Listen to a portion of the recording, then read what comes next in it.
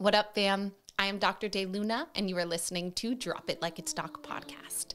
Today we have on Nikki Rae Bose, who I am blessed to call one of my best friends. But really, she is such an important member of the San Diego community, not only because she is a phenomenal yoga instructor, but she's the owner of Reunify Yoga, a studio that has weaved into its consciousness this feeling of inclusivity and unity.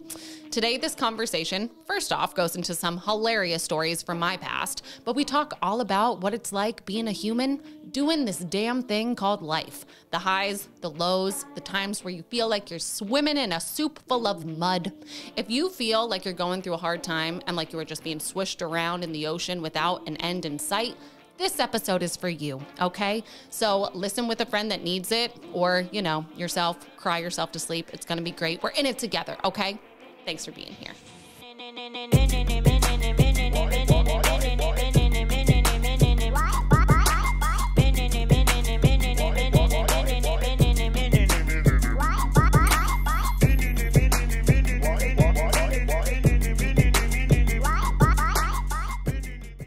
Hi, Nikki.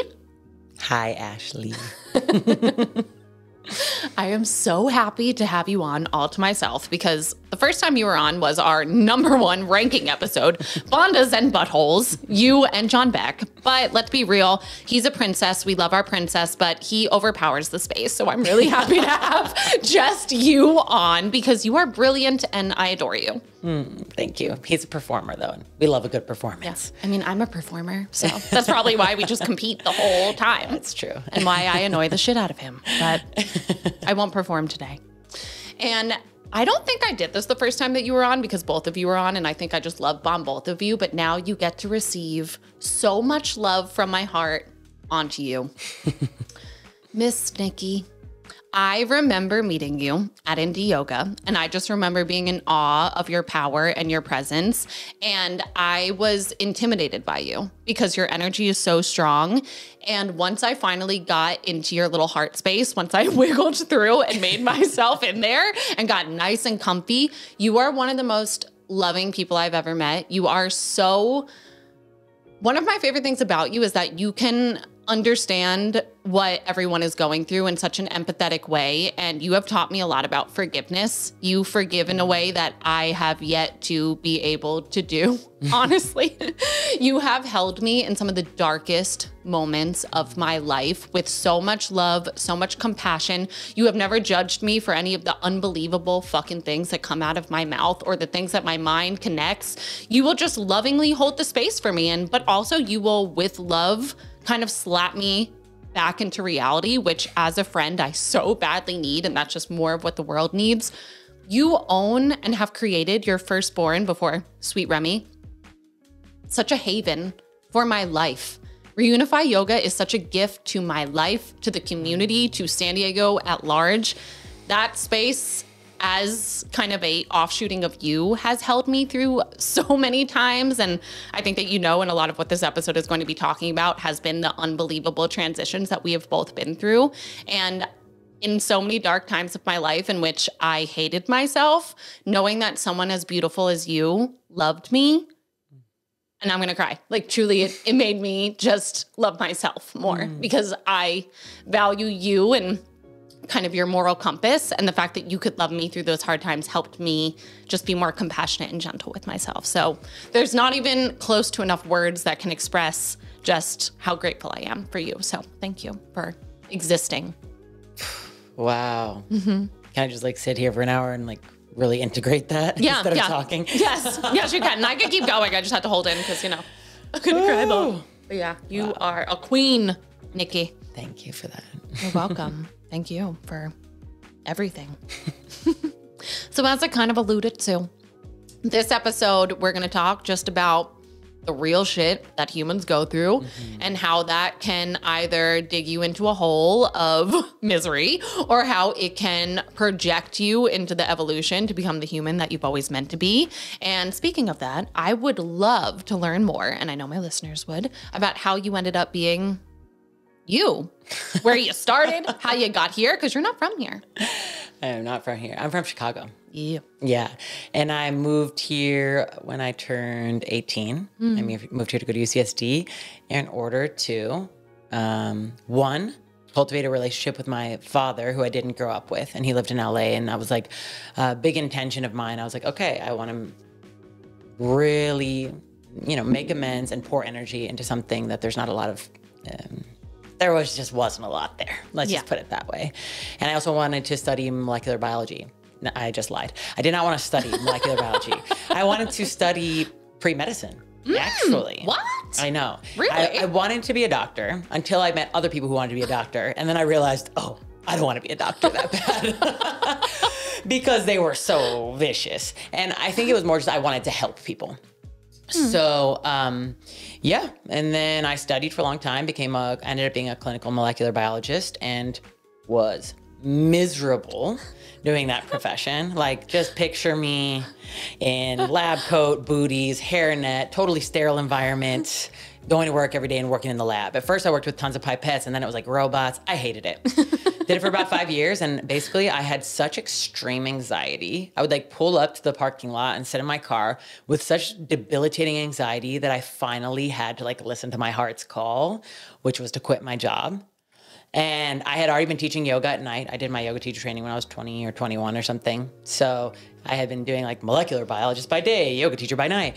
And it was just like, you know, like the more I practiced, the more in tune with my heart's message I was. And so like I could not deny like the very difficult but- very necessary thing I had to do. Mm-hmm. Which was like quit my job that like actually paid the bills and just go.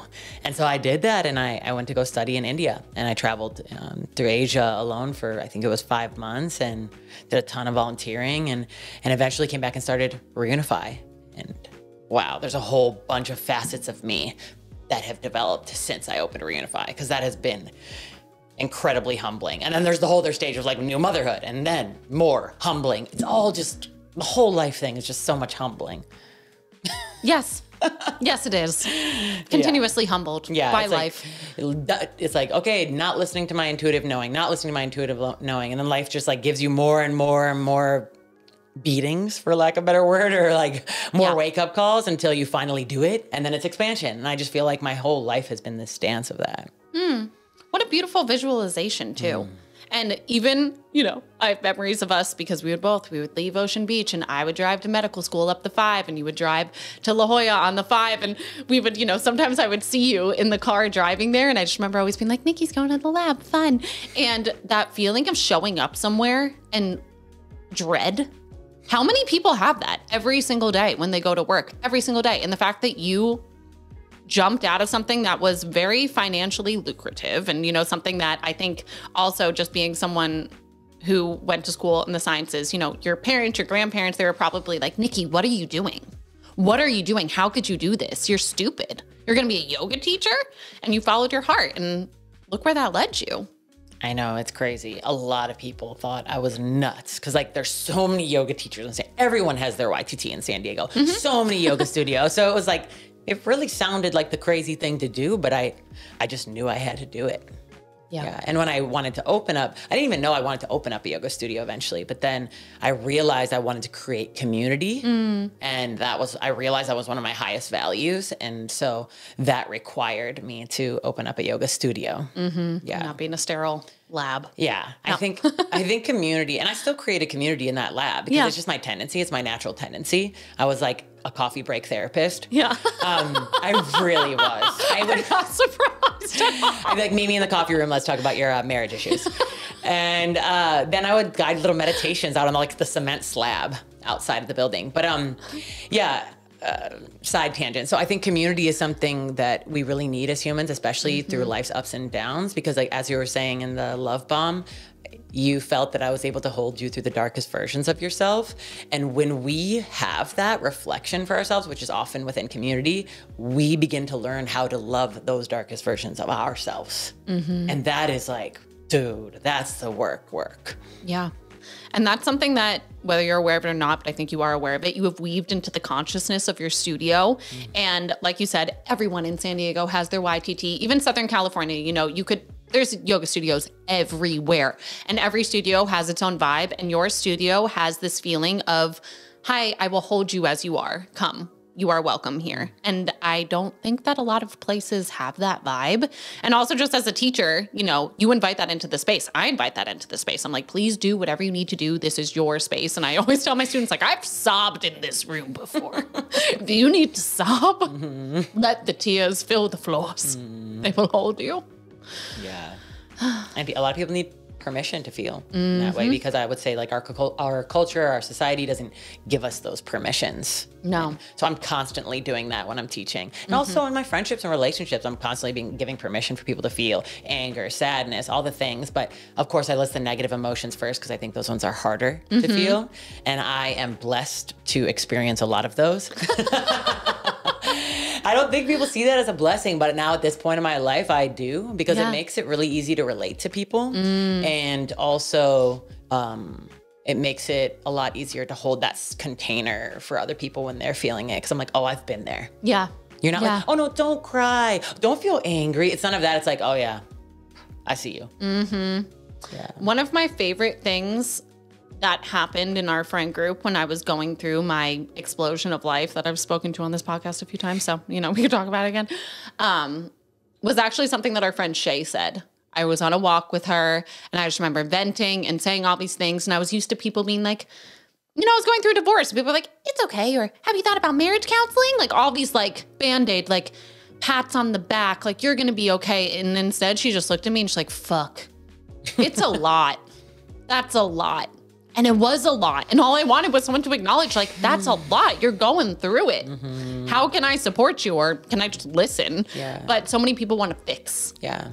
I think that is a major issue. And I think a lot of the things that are times of darkness or times of challenge are the things we need to face rather than fix. Mm-hmm. And part of yoga and part of the philosophies of yoga teach us how to face those things teach us how to sit in discomfort mm-hmm. and it's mm-hmm. through those situations like in my ytts i call it triggers are the golden key it's like through those triggers those situations those big moments of challenge we really begin to s- discover who we are mm-hmm. and on top of that what our values are yeah and i love how even you said i've been blessed to experience many negative emotions because even from a physiological standpoint, I work with so many people that cushion their emotions. You ask them how they are, and they say, fine, or I'm good.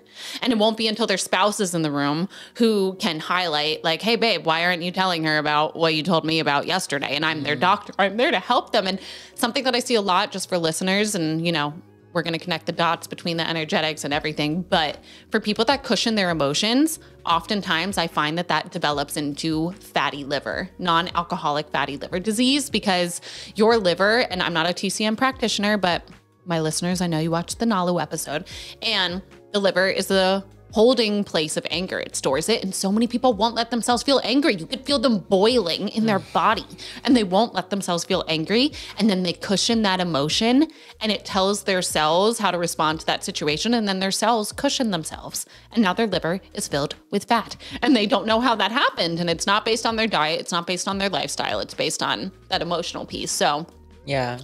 I always think about emotions as energy in motion. Mm-hmm. And if there's any stifling of them, I'm not a doctor in any way, chose the non pre med route.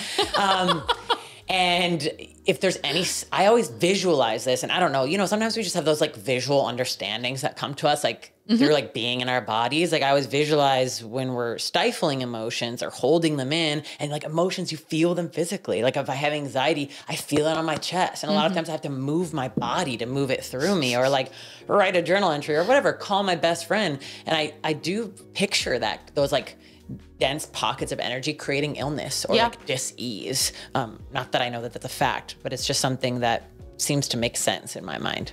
It does make sense and not only do you, you you also teach yin and you drop into the connective tissue and the fascia and that is such a mind body. All of yoga practices of course but yin is so juicy in that sense because i think that you can really find those pockets. Oh yeah and that's why, you know, for the listeners that have never understood why, you know, you're in a forward fold or opening your hips and you feel like you're going to cry. And I describe this in teacher trainings because you are incredibly intuitive, and that is what happens when you have an emotion. It is such a strong sensory input to your brain. It goes through the back of the brain. So basically, our brain, which I call the walnut, the back of the brain is where most of the sensory input comes in. And sensations are designed to create an action, a motor output. That could be a movement, it could be, you know, an anything to get that sensory input to have its intended shift. And so many people do not have that happen. They just feel, they just feel, they just feel, but they don't let themselves have a motor output. That could be having a conversation about whatever it is that's coming up. It could be moving your body. It could be, you know, and it could be as simple as being like, I'm really hungry. I need to eat. But people, when they don't allow that to happen, the energy does stay in the body. And the sensory input because it's trying to create a motor output, the motor system is in the muscles, and the muscles are surrounded by fascia. So the fascia holds the imprint of what that muscle was being asked to do. Mm. And fascia is something that I work into in craniosacral and in yin, and really any movement practice. You're not just moving one part of your body. Of course, you're integrating the fascia, but to kind of connect that intuitive thing that you felt with something very scientific, it does stick in your body. It holds. And that's why when you drop in, Sometimes a memory could come up or a really strong emotion. And I've had the fucking wildest things come up in yin before, like feeling like my heart was getting stabbed. And I'm like, yeah. okay, am I going to freak out? Am I going to ruin this whole class mm. and call an ambulance? Or am I going to breathe through this? that happened a few weeks ago. Dang. Yeah. Yeah. Yeah. Big time memories can come up. Mm-hmm. Te- um, teaching yin, practicing yin, all of the things. And I think, you know, in our childhood, we don't necessarily had we didn't have all the tools we have now and even through the teenage years when a lot was felt then so so much of our past we didn't really feel we're just like all right gonna shove that down all right gonna dissociate from that mm-hmm. and so when we mm-hmm. show up to the mat those things that we dissociated from or shoved deep down in will arise yeah and so even those difficult moments those transitions that we chose not to face they a lot of times come up in the practice mm-hmm. even if it's just like a physical signal. Oh, yeah. they come up all right. And I love that you said, you know, if you left your body, because I think that that is, for me, that was, I mean, there's a few pieces of my yoga journey that has completely transformed my mental health, but one was actually just being in this. I don't think I was in here for a really long time. Mm-hmm. I remember when I first felt my feet ground in a yoga class, like actually connect. And I was like, wow. And I didn't know this until I was getting a massage and she was feeling into my legs. She's like, Your legs are really tight. I'm like, Oh, I don't even really feel that. I don't feel my legs. Huh, normal. So, the fact that you are in a room with other individuals and you are going through this step by step journey that the teacher is guiding you on into your body, you have to be there. Of course, you know, there's been dozens of yoga classes that I've left, but the teacher's intention is to kind of pull you back in and to say different keywords to different parts of your body, but also the breath, because maybe that's the most powerful thing of that whole practice is just teaching you how to breathe because in breathing then you could sit with yourself in those moments where otherwise i don't think people recognize that when you hold your breath your mind will pull you out of your body because it's perceiving that you're having something dangerous occur to you so breathing when you're in a class with other people where you know you can't necessarily lean on the things that you would do to dissociate you yeah. can't scroll on your phone. Yeah. You can't, you know, smoke. You can't. An entire bar of chocolate in yeah, 30 seconds. Exactly. Yes. We've all been there. I love chocolate. Yeah. Yeah. So mm, the gift yeah. that keeps on giving. Yes. And I, and I, I tell students, and I try to tell myself this, like when you're in a moment of discomfort, like when I'm teaching dragon pose in a yin class, or you know, like holding warrior two for like a ridiculous amount of time in a hatha, like I tell them, okay, turn to the breath, like show your body, like I can be centered in discomfort, mm-hmm. um, with the hopes that when a moment arises in everyday life that's uncomfortable, rather than eating a bar of chocolate really quick or even just getting reactive. Mm-hmm. You can like pause, take the deep breaths and get curious about what's there. Like why is this uncomfortable? Why is this creating like a feeling of divisiveness or separation in me? Mm-hmm. You know, mm-hmm. because ultimately all of those moments are showing you where you're still holding on or some of the illusions that you're still holding on to. And mm-hmm. that's really heady philosophy stuff, but yeah. It's so true though. I was the most reactive fire queen ever. People called me Smashly because I would just throw shit. Like if it triggered me enough, that was my motor output. Like the input of incredible sensation that was usually anxiety and anger. I'm really good at being angry. It would just build up in my body, and I wouldn't know how to have a healthy release other than truly picking up something and throwing it against a wall. Like, I have memories of my ex watching me. Poor man. Like, honestly, I say that a lot on this podcast. I'm like, fuck, did I put him through a lot? But I had this gallon jug of water. That was like my water that I would refill at the water store. And I picked it up and I saw that he saw that I picked it up and he was like, oh no, she's gonna fucking throw it. And I went to throw it against the wall. and this huge man, I'm gonna cry again because it's so funny. This is laughing tears though. He jumped his body in front of the water, like bounced off of his chest and hit the bed. But like, yeah, Was I it mean, glass? It was fucking glass. It was a glass gallon jug. Yeah. Oh I know. my- He had was strong belly, strong belly. Oh, that's nuts. yeah, I'm crazy. But at least you weren't holding it in. I And now we gotta talk about that middle way. yeah, now we'll talk about the center. Yeah, I mean, listeners that also watched my Mindy episode, you know that she taught me to throw things right. So it took a lot of unraveling of my subconscious to not do that. Mm. But I also never want my listeners to think that I am perfect. You're not perfect. We practice these things every single day. totally. And a lot of times fail. Absolutely, a lot of times fail. Probably 80% of the time. Yeah, that's a key. Yeah. Yeah.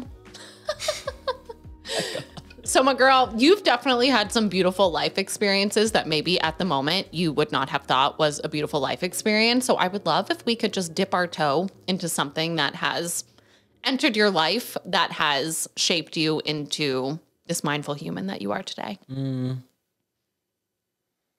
Dang, there's so many.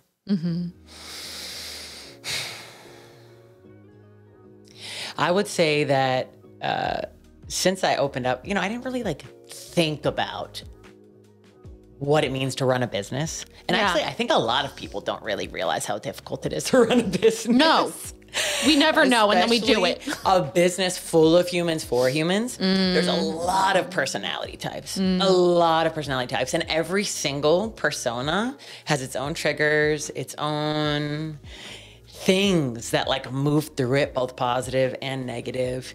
And I think for me, one of the part, one of the hardest parts of like running a business that is a community and like a full staff of humans. And by the way, um, for those of you who don't know, anyone who finds a lot of people who are like yogis and find yoga, it's because we're a little, we've been through some shit.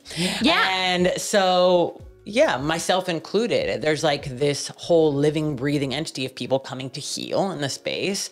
And so I have had to learn how to open up my perspective and get curious about like what certain emotions mean, what certain statements mean, rather than immediately taking things personally. Mm-hmm. And I think I'm very grateful for that because it has given me this opportunity to really practice what I preach, which is unconditional love, instead of immediately feeling attacked by someone who has certain criticisms criticisms of, of me or like says something to me I don't like. I get, I drop in on a good day. if it's in alignment with my cycle, I drop in and I get curious like why was that person an asshole?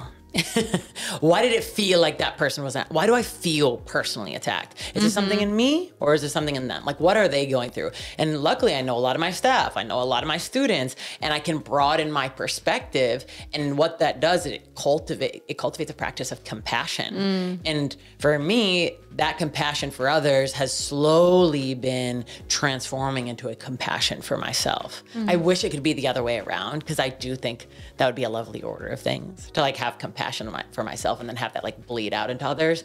But yeah, I think running a, a business that is a community has helped me build up this well of compassion. And I do think compassion is in our nature, but I think when we're when we're identified with the mind, which we are, um, compassion compassion has to be a practice. Yeah. Yeah. So I think running a business has cultivated this compassion for me. Um, yeah, that's one of one of the hardships that led to something beautiful. I'd say. Yeah, and that is beautiful. And you know, you're absolutely right that most people that are drawn to the practice of yoga, whether they're aware of it or not, it is because there's something that they want to heal from, and it's something that they or that they want to discover within Whether themselves. physical or emotional or spiritual, Yeah. it's like one of the layers. One of the layers, it- absolutely, any of those things. And with that, your shit is going to come up. Yeah. it, when you I, I don't know why anyone thinks that the healing journey is going to be this like beautiful process of like saging yourself and holding crystals and like doing full moon ceremonies. That's not what it is. You you enter the muck of your depths of your pain of your trauma. And when that does come up i think a lot of what does come up as well is this victim mentality mm-hmm. because at first I think it's human nature to want to say how could they do this to me? How could they? And take that and hold it mm-hmm. and let that be a wound that you hold. And this throw- and happened to throw me. a water jug over it. Slam a water jug. I wish I knew what that was. It was probably nothing. I was also vegan at that time and fucking starving all the time. So hungry all the time. So that was honestly, it just like I could not regulate. But yeah, why? And when you learn that, you know, most things that people do actually has nothing to do with you Yeah. actually nothing to do with you at all. They don't even have the capacity a lot of the times. And they being humans, myself being one of them, most of the times we're so caught up in our own fucking story that what we do has nothing to do with the other person. And in that space that you have of owning a yoga studio and having holding the space and being that caretaker in a lot of ways, I'm sure that that was a really fucking hard lesson, especially in teacher trainings too. when you're doing all the shadow work and people are just like throwing it and It's wild. Yeah. Yeah. How do you practice boundaries in that situation? Hmm. I'm working on boundaries. Yeah. Boundaries is one of my things for this year. I would hmm. say I have a I am not great with boundaries because I want to just give everything to everyone and but luckily having my first child, which is not reunified like my human child, Yeah. uh, has taught me that I have to set boundaries. I now have a limited capacity where mm-hmm. before I probably did have a limited capacity, but I told myself my, my whole heart is reunify. I'll give everything to it. Now it's like I'm raising this human baby. Yes. Yes, you are. I, and I really, he requires a lot of my attention, a lot of my love, a lot of my patience. Mm. And so I have to, you know, in this world where I'm identified with the mind, because technically, like, our true nature is boundless. And this is a big question I get in my YTTs because people are like, wait, if yoga is union and we're all one, like, why boundaries? Boundaries don't make sense. And I'm like, boundaries make sense until they don't anymore. Mm-hmm. It's like, if you're identified with the mind, if you're identified, like, this is me, Nikki Rae Bose, you look in the mirror every day and you're like, that's me. And like, you do believe that, even if philosophically you know something else, like you have to utilize boundaries until the point that you naturally shed them. There's gonna be a point where you're like have an awakening, like, oh, I'm one with all beings. And like, then you don't need boundaries. Um, like, there's the story that goes like, the Buddha basically had a disciple waiting outside of his door to drink some tea. And Buddha was sitting in meditation for an hour, two hours, three hours, four hours. Disciple was sitting there waiting, waiting, waiting patiently, you know, being a holy man. Finally, Buddha lets him in and says, All right, let's have some tea. Within five minutes, he wanted to ask his guru basically some questions. And a wild, crazy man runs in, like evil, just screaming profanities at Buddha. And Buddha sets up a cushion, and says, Come, have tea with us. And this story shares like this concept of equanimity that might feel really far fetched for us, but for the awakened one, which is what Buddha means, um, it's something that has arisen naturally. And the idea is we will get to that point if we commit to the practice. But when we're not there, like we have to set boundaries for ourselves, create an environment that allows for awakening. Because if we're constantly pouring into others and don't even have anything for ourselves, mm, that awakening isn't going to happen. Resentment's going to arise, exhaustion, all of those things. So I would say for me, this year has been a lot about setting boundaries and and less people pleasing. I think of my concept of community and and unconditional love, which like I hold at the utmost highest, sometimes has me um, denying some of the boundaries that I need to set. Yeah. Yeah, It's a continuous battle. it makes for a lot of difficult conversations. Yes, it does. And people hate difficult conversations, which is probably why people say yes to everything when they don't want to say yes. And then they're filled with resentment and anger. They don't let the anger out because they're trying to people please and now they have fatty liver. Yes. Yeah. Yes. And you know why people hate difficult conversations? I think Yeah. about this all the time because um, when I dread difficult conversations, I have to have them all the time as a business owner, as Mm-hmm. a friend to many, you know, as a as a lover, a mother, all the things. Um, I think people hate having difficult conversations because they're afraid to hurt someone else's ego. Mm-hmm. They don't want to shatter or break someone else's ego, which ultimately is just a reflection of their own. Mm-hmm. So it's really like them not wanting to let go of their own ego. Like they don't, they need to be loved, they need to be liked. And it's like, When I say they, I mean I. I Yeah. need to be loved. I need to be liked. And when I see that, I I just see this like inner child work that's like, oh, baby Nick Nicks. You're liked, you're loved. Like you can have this hard conversation. Yeah. Yeah. I hear you.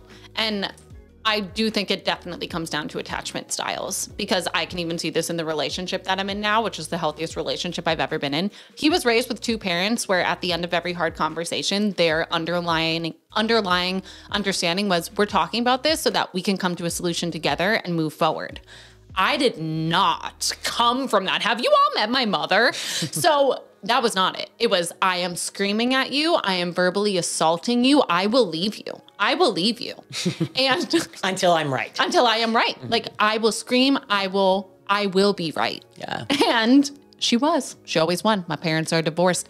Um it was so for me when i feel a bad or not bad or just like a charged something that i need to say and i am such a i'm like a little tiny human with so much energy in here it's unfucking believable and when i have something i need to say it eats me alive i will not sleep i will not be able to eat i have to get it out of my body and what comes up for me in those hard times is if i say this will they leave me mm. and I have found that that has actually never happened once. Not once, especially if it's a conversation, you know, not taking Mindy's advice. You don't scream if it's a mindful conversation. And it's all about how you word things and the place that you're coming from. So if you're coming with it from, hey, I'm bringing this up because it's this is how this is impacting me and I want to see if we could come to a solution versus you are doing this wrong. You are wrong. You have to fix this.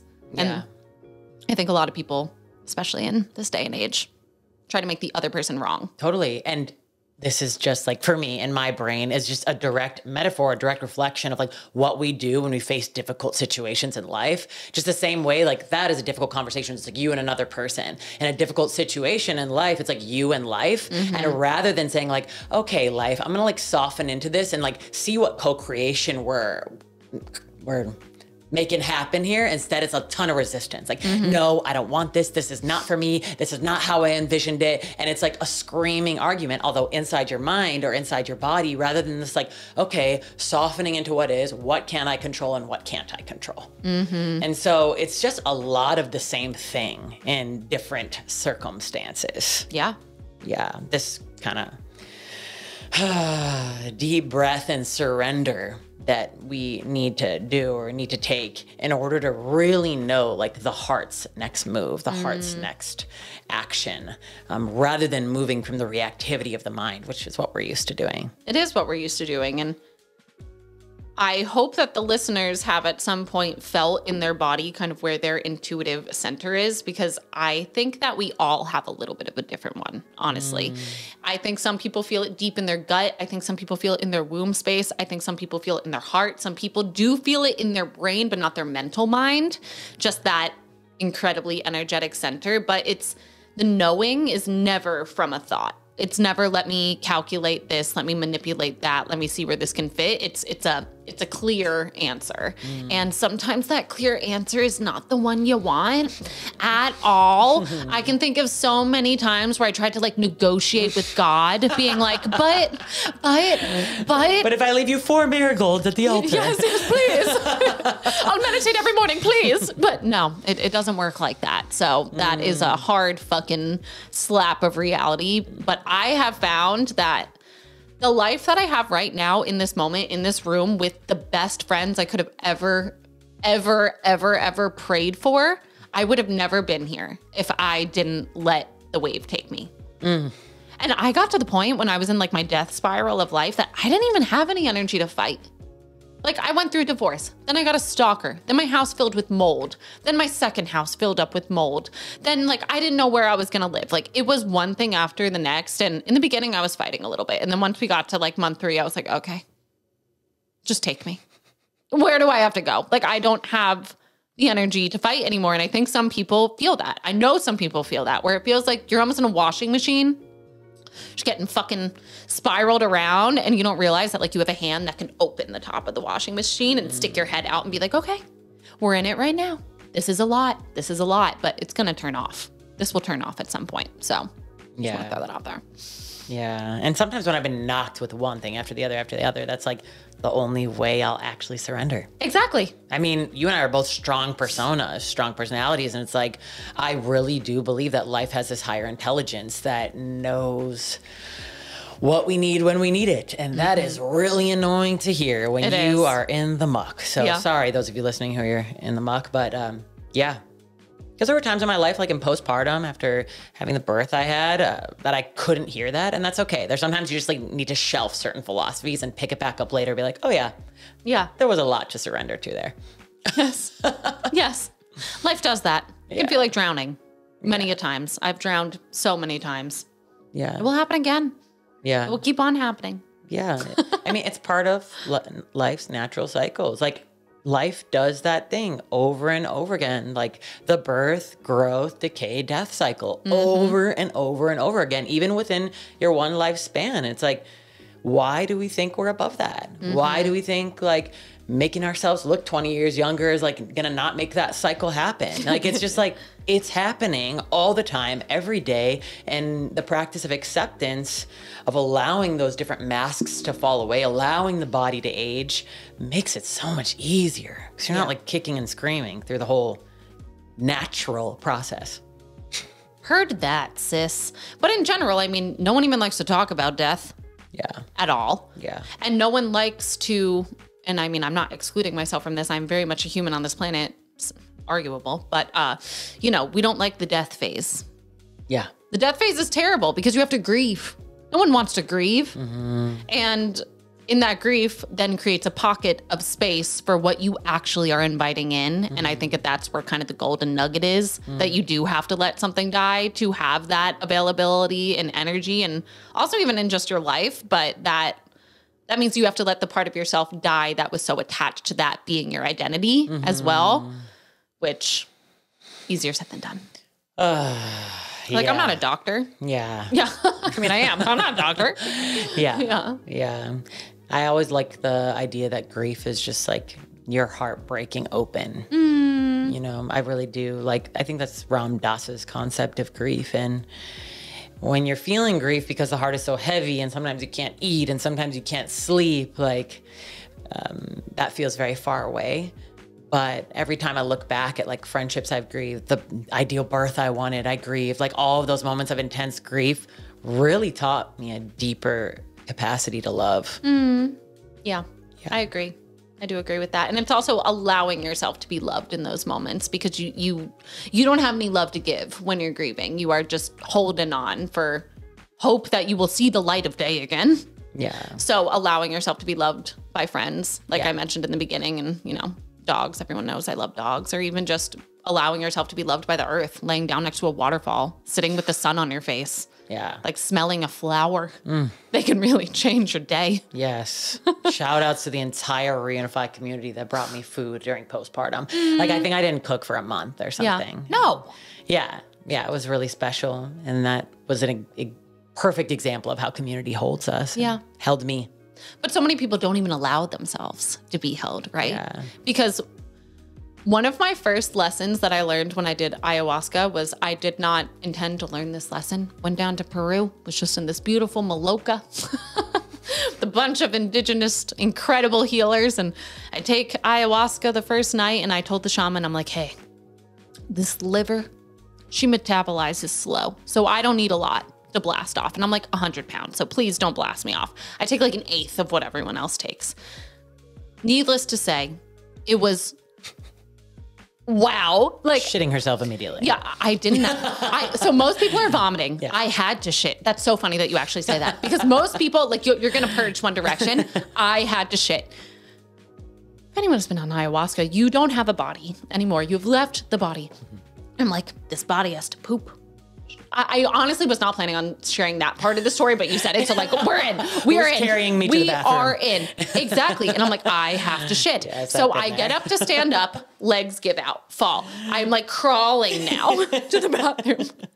Faint on like a beautiful man. Sorry, sir. Did not mean to wake up on you. And then, you know, someone had to physically help me to the bathroom. They had to help me with everything and they had to guide me back. And I remember in that moment, one of the, they were called like the angels, you know, like they weren't using plant medicine. They were just staying on the earth to help people do things like walk and drink water. And he said to me, and he looked at me and he goes, Ashley, it's okay to ask for help. Mm. And that like took me then on such a deep spiral to all the times in my life where I needed help and I didn't ask for it. So then I now hold anger and resentment towards people in my life. But that was that was me being a victim, right? That was me saying like how could you not help me? Mm. And I've even had that lesson come up for me because again, these lessons happen in spirals and it's happened to me. That was decades ago at this point, but it's come up in more recently. And people have looked at me, hard stares at me, like, well, did you ask? And I'm like, fuck. No, I didn't. So it's really hard Yeah. to do that. And it's a lesson that I'm truly continuing to do. But when you ask for help, the people that love you want to help you through Yeah. those dark times. But Yeah. it's almost like this feeling of if they see me like this, will they not love me? Or if they see me like this, will they think differently of me? Or even just being, you know, like a doctor, if they see me like this, will they still see me as a healer? Like whatever bullshit that my silly human ego mind wants to tell me. Yeah, I didn't shit myself. I did not shit myself. I made it to the bathroom. I did. And isn't it funny that most people that make uh, a living or their profession or their calling is to help others, like, are the ones who like have a hard time asking for help? Yeah. I see that so much. I see that in myself. I see that in a lot of other teachers and healers, and it's like, yes, the reflection is so clear. Like all the connections are right there. Like you can look at people's dharmas and their professions and like really understand about some of their. You can understand something about their deeper energetics. Mm-hmm. Yeah.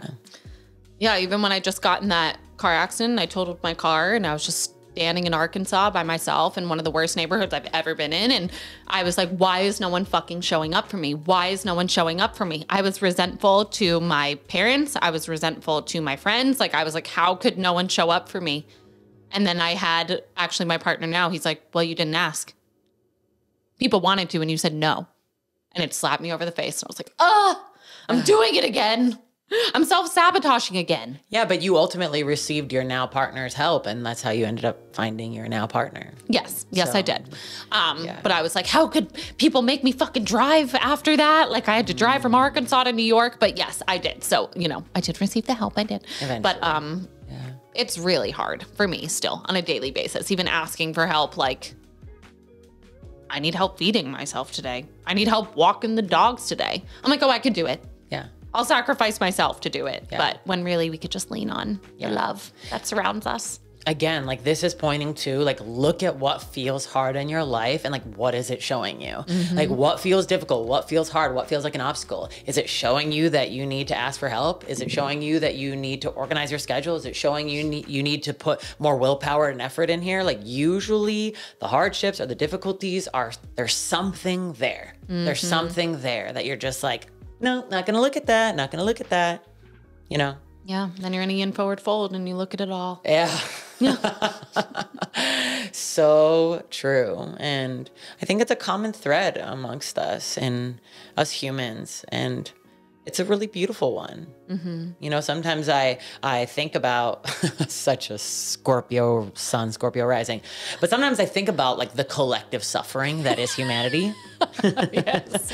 Scorpio. and I shed like a beautiful tear. I'm just Yeah. like, damn, we are all in this. We are in it. And I like will have like a genuine cry sesh for like the suffering that is. And I think if we all lead into that, there'd be more healing happening. yeah.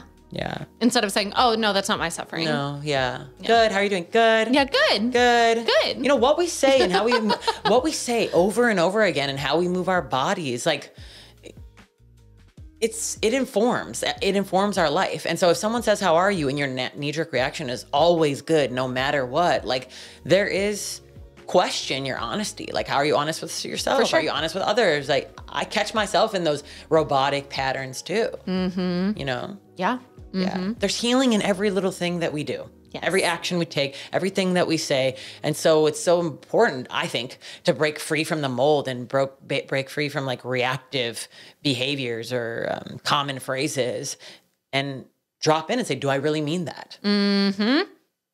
Yeah. Absolutely. Words hold immense weight and, you know, I'm not a hippie in the sense that I'm like, words are all spells. But I don't think that fully. But I do think that when you create an authentic space for someone, when you answer, you know, that's actually one of my favorite things. When I ask someone how they are and they're like, I'm going through it, or how are you? And, you know, I'm actually doing fucking terrible today. And I'm like, I hear you. Thank you for being honest. Like, please open that space. And I, when I, even being a yoga teacher, you know, you were on stage. You are standing in front of a room, people are staring at you. And for some people, they love that. Some people, they hate that. Obviously, I love it. But there's some days where I would show up to teach where even Monday, this Monday, I cried before I taught. Not in front of the class. I told them I cried before though. I cried because I was doing way too much and I needed a yoga class and I felt like a little fucking baby and I cried. I'm like, ah, meow, meow, meow. It's because I didn't take care of myself and I showed up to class and that was my intention. I was like, hey fam, this is what I'm going through. Like, I cried before I came here because I am not taking care of myself the way that I should. This is how it's showing up in my life. This is what I'm learning from it. And it's always the days where I am my pure, unfiltered self. And some days my pure, unfiltered self is me being really bubbly and really happy. I would say most of the time it is. But a lot of the times it's not. And definitely when I was going through that dark night of the soul, I was not always like that. And in me being my full self, the connections that I've made with students because of that, I think that's also why my classes are, you know, the same students keep coming back because they connect with my heart and they connect with my authenticity versus this mask of what would a yoga teacher be when they stand in front of the class? What would a yoga teacher wear? What would a yoga teacher say? What would their voice sound like? Mm. And I'm sure you know that the yoga voice cannot do the yoga voice. This is my voice. This is how I teach yoga. Um, I will laugh. I will cry with my students any day. But you're also incredible at that. Mm at showing up and because of that the students can do that yeah, I do. I do think vulnerability is connection. Mm-hmm. It's just like one less mask you're wearing. Yeah. Right. Um, when we talk about the basic philosophies of yoga, it's like you and I are one. You and I are reflections of one another. And the more masks we wear, the more layers we have on, the more separated we feel from that truth. And so to actually share what you're feeling, which sounds ridiculous to say that out loud, like, yeah. why wouldn't you? But it's just not a part of our culture. No. To actually share what you're feeling is one step closer to that, like, uh, spaciousness, that beingness within us. Of course, that emotion is coming and going like everything else. So it's not who you really are, but at least it's one step closer. Mm-hmm. You're not wearing some, yeah, I'm perfect and everything's fine mask. Yeah. You know? But I love that you said that and that even made me feel the need to share that we i think some people do associate with their emotions. I did for a very long time. Mm. like especially when i was depressed i'm like oh fuck. This is me now. This is me. You're just this emo bitch. You can't smile. Nothing makes you happy. This is who you are now. Yep. and it's so important to recognize and understand that, like you said, emotions are energy in motion. And if you feel them when they come up, they will leave. Yeah. But if you do not, they stay. And then your mind will confuse that with your identity. Mm-hmm. And then it and then it becomes a part of your story. Mm-hmm. And then you carry that forward, mm-hmm. which is just such a disservice. Yeah, and then your life reflects it. Mm-hmm. You know, like if you it becomes part of your story, you carry it forward, and then everything around you, every person, every character reflects it. Mm-hmm. So sad. We're meant to be constantly shifting, constantly changing, moving the way um, that nature does. Mm-hmm. And it's usually in a way that you would have never imagined yeah. that you move. Yeah. Like, did you ever think that this would be you? My my Chicagoan mother still can't digest it. She's like, if you ended up, I was either going to go to Boston College or UCSD. Yeah. So I, I, went to California instead of Boston. Um, and she always says, like, if you went to Boston, would you still raise your son this way? if you went to Boston, would you cut his natural mullet? Sorry, mom. I know you're watching this, oh, but um, love you, uh, yeah, I don't think I would be this way. Yeah. No, if I didn't ride the wave, if I didn't let, of course I wouldn't. Yeah. I wouldn't be this way. I would have been a plastic surgeon in Miami. Ooh. That's what my vision of myself Ooh. was. I know. And honestly, that doesn't sound bad. I mean, I know it doesn't support like all the great causes that you support. Yeah, it's okay. It sounds like a fabulous life. Oh, I think it would have been really fun. Yeah. I just would have been very different. I would have looked like this. like the filter you always wear. Is I that you? Filter. You're like channeling That's me. that version of yourself. Yeah. So many people think I look really pretty like that. Sorry. Yeah. yeah. I'm so sorry. People would like send that on the DMs. Yeah, being like, "You look gorgeous. What did you do?" And I'm like, "This is a fucking filter, okay?" oh my god, I like literally. Wow, different perspectives of beauty. Interesting. Yeah. Interesting. yes, it is. Yes, it is. The funny thing is, no matter how we would have ended up, like whatever version of ourselves, like I firmly believe like that was the version that was meant to be. And it's Yeah. like all this this dance of life and, and the Sanskrit word for it is Leela. It's all this like play of life. And I mean, like, can we embody this attitude of acceptance, knowing that you're like you're playing doing the play that you're supposed to play? Same for me over here, and allowing for the plastic surgeon in Miami to do the same. Yeah. Don't hate it. Yeah. I mean, because how can we even, you know, how can we find acceptance and surrender and settle into self if, if we're not accepting of others? Oh, for sure. Absolutely. And I mean, A filter and a no or no filter. yeah, filter or no filter.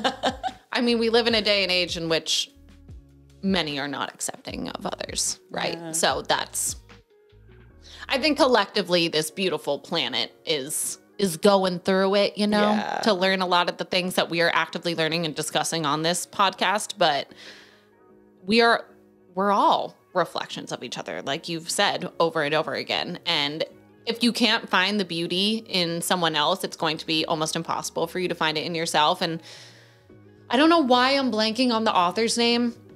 Do you remember the author's name who wrote many lives many masters? Ah, i can't think of it right now. He's amazing. For those of you listening that want to just cry. Many Lives, Many Masters is amazing. And he wrote, I think, in one of the last chapters, and this visualization has stayed with me ever since I read the book, that inside of every human is a diamond. And it sits along behind our heart, behind our sternum, and it is this gorgeous, complex diamond, you know, that has all these different chromatic colors and patterns and it's gorgeous. It's undeniably gorgeous. But inside of everyone, there's a different degree of cloud over that diamond. And a lot of that cloud is self perception self perception and also ways in which you view the world. And until you clean off your diamond, you will not recognize how beautiful you are or how beautiful everyone else is. And that has stuck with me. And I think that even living in a city where there's homeless people everywhere and there's people that are, you know, going through their process. There are people that have been that just moved here. There are people that have been, you know, on this path of yoga. It doesn't there's people that are unbelievably rich here. There are people that are struggling to survive here. And if you can't see the beauty in everyone's story and in everyone's struggle, it's going to be a miserable place to live. It's going to be a miserable fucking planet. yeah. Yeah. Because otherwise there's just more and more polarity, more and more separation, which mm-hmm. which is the the root of all conflict. Mm-hmm. Yeah. yeah. Damn. Love all the jewel metaphors. That's very like it's in even in the sutras. Um, I believe it's like the intellect or the mind is a jewel, and the more you polish it, the more you see the reflection of self Yes. in all things, all objects, all beings. I love jewels. jewels are nice. I love them. Yeah. I love shiny jewels. yeah, you're covered in jewels. I am covered in jewels. Not enough, but Yeah, I'll get some more jewels. nudge, nudge, Nick. Yeah, nudge, nudge. so. JK, you can buy your own jewels. Thank you. I will. We'll see. John got me this one.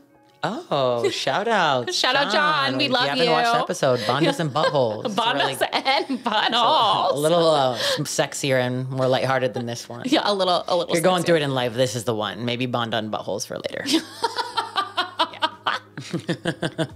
Number one episode. What can we say? Yeah. People love the butt. Yeah, people do love the butt. Yeah. people love butt stuff. Yeah. Or actually, no, I think people just feel some kind of way about butt stuff. They do. Well, well, So like- now we'll take this. Now we'll carry this. So, so they're gonna watch it no matter what, because either they want to like internet troll you and be like, no butt stuff, or they're gonna be like, yes, I want to know more other people who like butt stuff. Yeah. You're so fucking right. You are fucking right. Because now that I'm like out and about in the social media world, like I don't think any of you understand how resistant I was to be in the social media world. I did not want Instagram until my friends from home in New York were like, let me send you dog memes. And I was like, okay, that got me. You can send me dog memes. I don't want to be in the social media world, says the Leo who likes to be on stage. But something that I've noticed is that the more and more people that learn about you, the more and more people that are drawn to you, but it will be one of the two. They're either full supporters or they fucking hate you and want to destroy you. And there's no in between. Oh, I've, I know. Yeah. I know, and that was very hard for the people pleasing part of me. Yeah. I was like, oh, like creating a business that is a community means there's gonna be people who hate me and don't agree with the way I do things. Yeah. And I let that was very difficult for me, but getting better at it. Yeah. With each with each hater. Yeah. there comes uh ideally not a thicker and thicker skin, which is like my I think first Chicago response. I'm like, Yeah. thicken my skin, I don't Yeah. care. But I think ideally it's more just like oh yeah i'm being a full expression of like what i need to be um, in this lifetime and that isn't going to jive with everyone I think that it's almost as if when you are more authentic, it's as if your vibration, your frequency gets more clear.